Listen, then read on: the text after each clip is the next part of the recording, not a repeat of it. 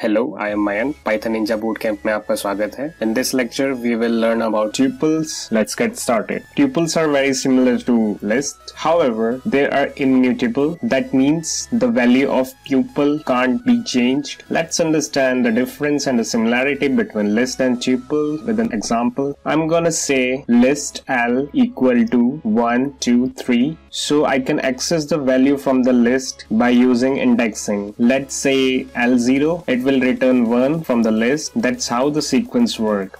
Now I'm gonna make the tuple, let's say t equal to parenthesis 1, comma 2, comma 3.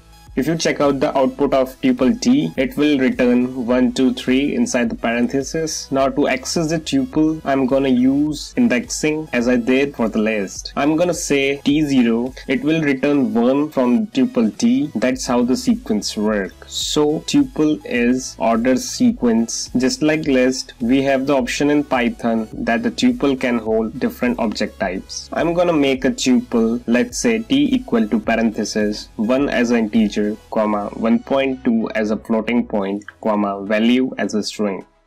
And call t, it will return parenthesis 1 as an integer, comma 1.2 as a floating point, comma value as a string.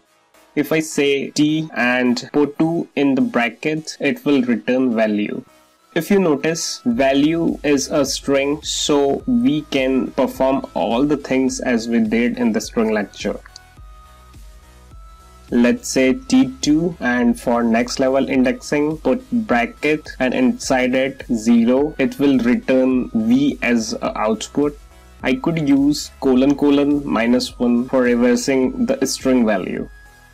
I can also use the method such as upper for capitalize so what it is basically doing here, returning the string value and with this we can perform all the operations we did in the strings lecture. Let's go ahead and try to change the value of the tuple. Here I have the tuple 1, comma 1.2, comma values. If you notice the value at t0, it will return 1. Now I'm trying to assign the new value. Let's say t0 equal to 5. If you notice it will return tuple object does not support string assignment. This is really important to know that tuple is immutable, means we can't change the value of the tuple elements teacher, my why we are using tuple when we have list. Okay class, listen. Suppose you are passing any object and need to make sure that it doesn't change. So tuple can be the solution for that. As you know, it is immutable. That means you can't change the value. Got it, Tamta? Yes, sir.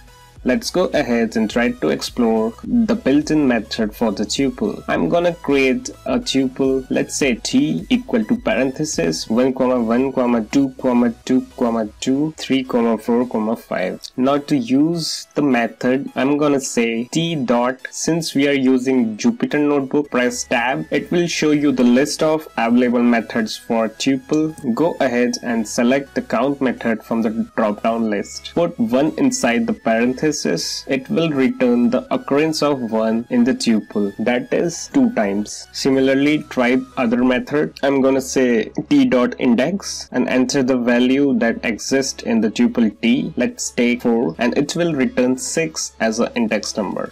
Students subscribe करें SN Gurukul channel को press the bell icon to see the latest tutorial comment करें to give your valuable feedbacks and suggestions Next video में हम cover करेंगे file till then practice and thank you for watching